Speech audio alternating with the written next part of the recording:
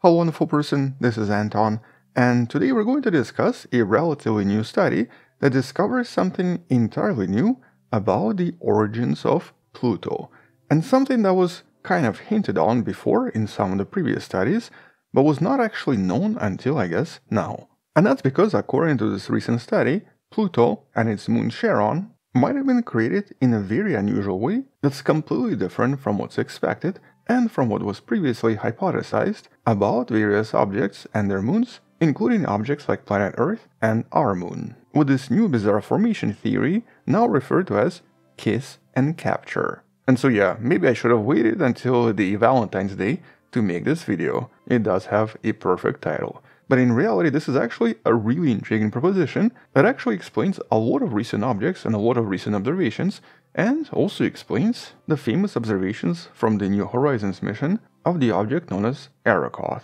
And so let's discuss the study in a little bit more detail, starting I guess with the study itself. You can find this in the description, but it's a study by Adeene Denton with the title Capture of an Ancient Charon Around Pluto. And so let's start with the Pluto system first basically focusing on what makes this system unusual and what the scientists believed must have happened here to essentially form it. So first of all, as you can see from this simulation, the largest moon of Pluto is large enough to basically tug on the Pluto so much that it starts wobbling around a central point referred to as the barycenter. And on top of this, there are actually additional moons, all discovered in the last few decades. And so because of the way Pluto and Charon orbit around one another, and because they're also tidally locked and seem to actually have extremely similar rotation and very similar orbital parameters, for many many years it was assumed that maybe the system was formed in a very similar way to how potentially Earth and the Moon formed. Here we're talking about some kind of a collision between two objects that basically mix together,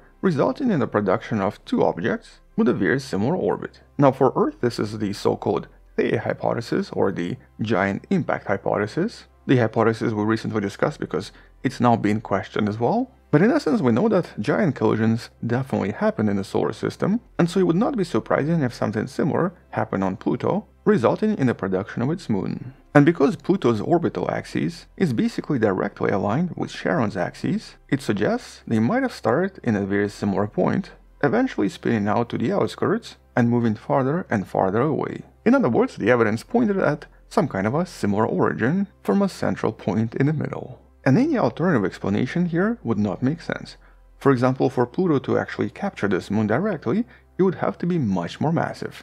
Now this obviously happens around other objects like Jupiter and even Neptune, but the mass of Pluto is just not enough to capture Charon by itself. And so the only explanation that kind of made sense, explaining the orbit, similar axis of rotation, and relatively large size, would of course be some kind of a collision. But in a lot of previous studies, there were actually two potentially erroneous assumptions.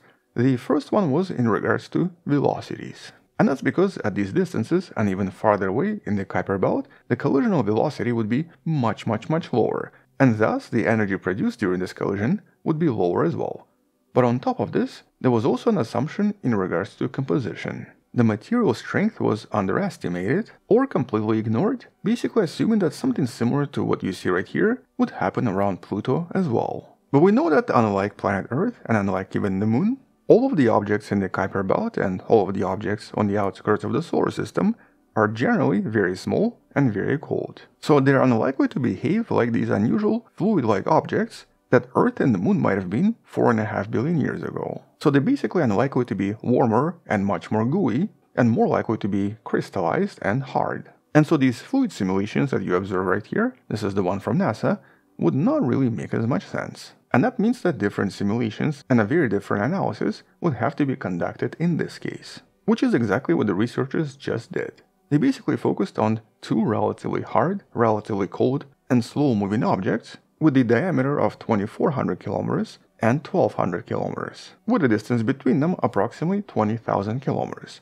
And they wanted to figure out what would happen or how to form these objects through some kind of a slow speed collision. But one important feature they wanted to recreate is a perfectly circular orbit at the end. Here the eccentricity is extremely low, which is actually somewhat unusual for any orbiting objects. And so by taking all of these details into account, the results were kind of surprising. Surprising because here, Pluto and Charon were not behaving in the same way as simulated with objects like Earth and the Moon. Here, the collision did happen, but because it was much lower speed and because the objects were much harder, it sort of created this really bizarre formation you see right here, with two objects basically coming together, or I guess kissing. A happy Valentine's Day if you're watching this on February 14th. But then, more intriguingly, very likely remained completely unchanged for a very long time, because the strength of these objects and their overall density stop them from changing further and from combining or from falling apart. And though this might not make sense right away, it makes a lot of sense once you combine this with some of the previous observations and some of the recent studies,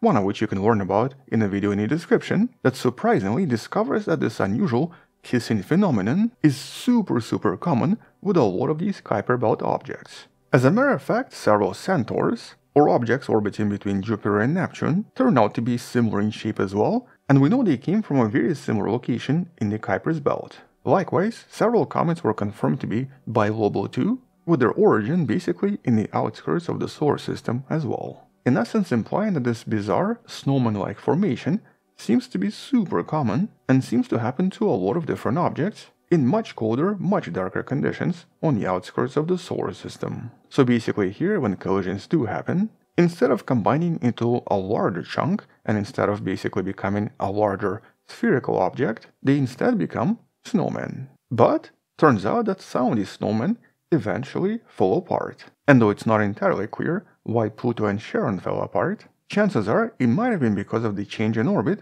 and because their spin possibly changed over time due to further collisions, or maybe because of some kind of an internal change. And once the spin of this central object became fast enough, they became two separate objects with additional particles on the outskirts forming the other small moons, which is why researchers now refer to this as a kind of a kiss and capture scenario. Not a hit and run scenario or graze and merge scenario like in some of the previous explanations, but basically a third type that seems to mostly affect objects on the outskirts or objects with different composition. In this case, this was achieved using an advanced impact simulation on the University of Arizona High Performance Computing Cluster, where the simulation first produced a contact binary that later separated, forming the exactly same orbital configuration once enough time passed. And because recent research does suggest that these contact binaries seem to be super common, here this explanation makes even more sense. But also suggests that these two objects extremely likely never really mixed much